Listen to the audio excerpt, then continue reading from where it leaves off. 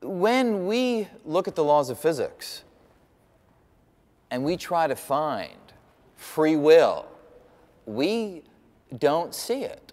When we look at the laws of physics, we see laws that are deterministic, laws whereby if you specify how things are now, the laws unambiguously tell you how you will evolve into the future. In the Newtonian picture, we could definitively say where you would be and what you would be doing using the laws of Newton.